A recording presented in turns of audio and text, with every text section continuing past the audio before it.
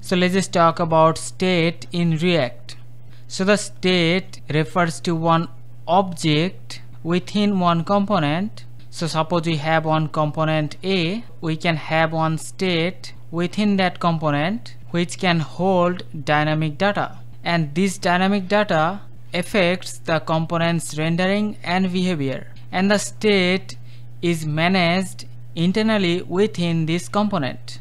So in case of class component, we define the state by using this dot set state and in case of functional component, we use the use state hook. So let's try to understand this with one example. So first of all, let's just create one new component counter.js. So in this component, we're gonna create one UI where we're gonna have one button and on click of that button one counter will increase. So first of all we have to import react. Let's just create one functional component counter and then of course at the end we have to export that. So let's just export default counter. So here let's just return the UI so the user interface will have one counter. So inside the p tag we're gonna create one counter. And here we're gonna show the count and also we're gonna have one button which says increase. Now to hold and increase the value of this count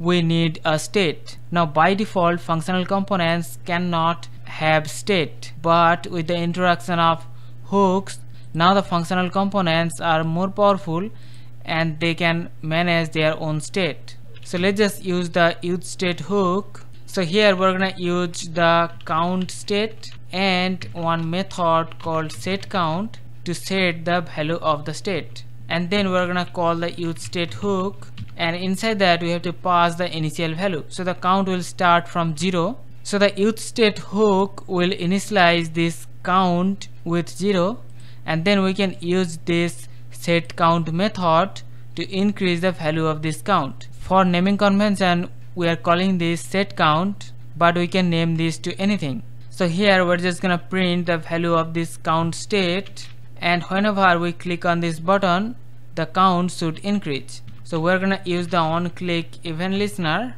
So on click we're gonna call the method increment and then we're just gonna define the method. So let's just create this arrow function. Now here to to change the value of this count we have to use the set count method.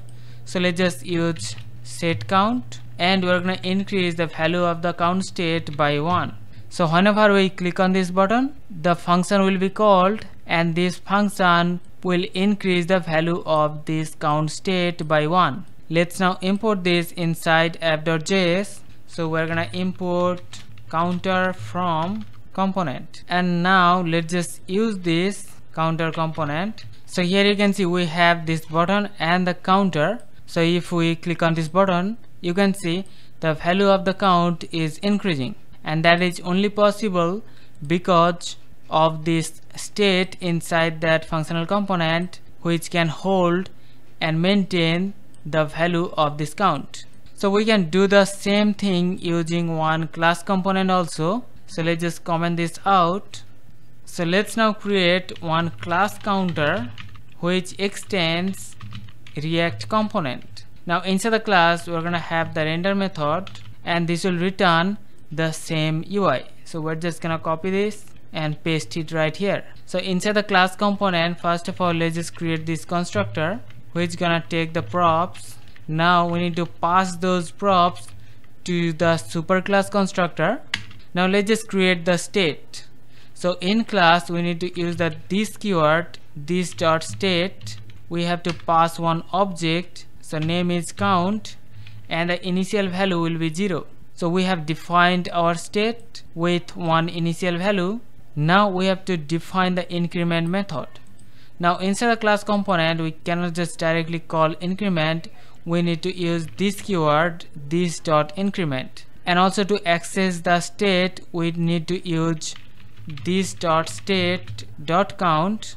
Now let's just define this increment method so we're gonna use the arrow function. So now to change the value of this state we need to use this dot set state. Now here we have to pass this object with this new value. So the new object will have the count with the value. So we have to access the value of the previous state. So this dot state dot count and we're going to add 1 to this previous value. So here we're just getting one error.